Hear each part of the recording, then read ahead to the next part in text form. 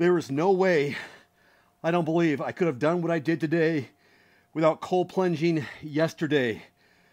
Wow, 46 degrees. Yesterday, I rode four and a half hours on my bike.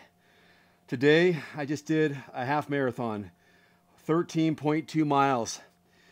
But what was impressive today for me was last week I rode three hours on Saturday. Sunday I did 13.26 miles, but my pace last week was uh, 9:44, and I cold plunged after the bike ride last week on Saturday. Today I did a 9:10 uh, average pace with my my big run today, and I had a bigger workout yesterday than I did last Saturday and I cold plunged after both workouts.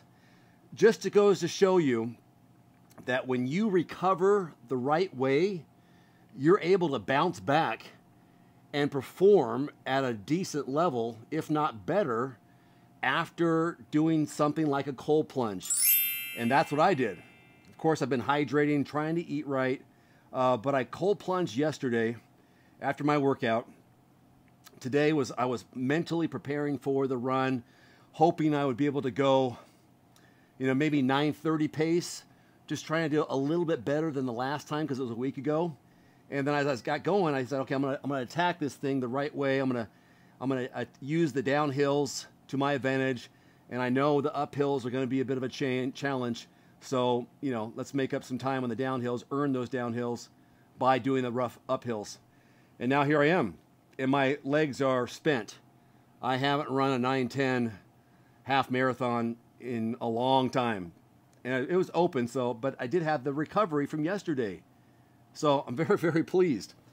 Oh, so I'm getting ready for Ironman uh, Canada, Penticton, less than 10 weeks now. If you've been following this at all, I'm using Cold Plunge as my vlog series, as my, uh, my platform to, I get in here and I, I talk. Uh, so uh, Coach Wendy Mader is my coach. You can find her on Training Peaks. If you're an endurance athlete, she is the uh, the top triathlete coach to go with. So um, I talked to her about uh, this run, and then she made a clip for me about the benefits of hill repeats. It's a two-minute clip, and I'm going to use it here as I sit in this uh, right now. Uh, so play. Here she is. I wanted to talk about hill repeats on the run and the bike because it's my favorite form of training.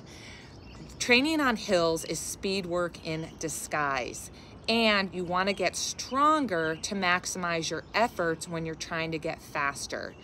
And if you're someone like me, I don't really do well with track workouts. It just, I, I tend to be at risk for injury and I just don't really have that quite that speed when I'm doing intensity at the track so I like to do it on a hill.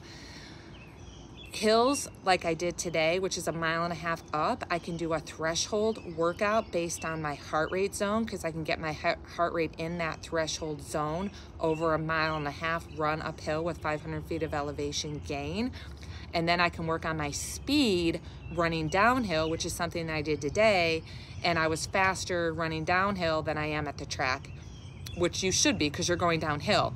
But some people have limitations running downhill due to knee issues or leg strength issues. And you can also work on running form. While I'm running up, it's more hamstring engagement. I'm able to work more on my knee flexion um, and, and extension, but more for me, I'm working on push off and knee flexion. And then running down is more quad dominant. So for me, my post patella surgery, my quads are getting stronger. I'm able to get some speed in on the descents. And so working on technique, threshold, speed, endurance on hills, it's, it's, you know, it's uh, one of those things that you just get so many benefits from hill training.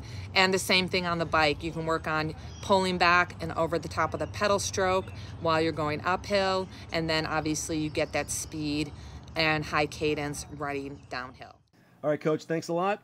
Hill repeats, try them. If you want to get faster, get stronger. Uh, I was doing that on the bike the other day. Anyhow, thanks, coach. Um, if you want to get a cold plunge, you want to recover and get back out there and work out harder the next time or be fresher, whether you're doing weights, endurance, CrossFit, whatever it may be. Uh, use my code Dave150 at checkout at theplunge.com or plunge.com. They got some amazing specials that's going on right now, and they throughout the year. But uh, 150 bucks off your your purchase, whatever you get. If there's a sale on it, you get an additional 150 bucks. Dave150 at checkout. There's a little box there. Just put my, my name in there, Dave150, and get the discount. All right, five and a half minutes or so. I'm in the cold plunge.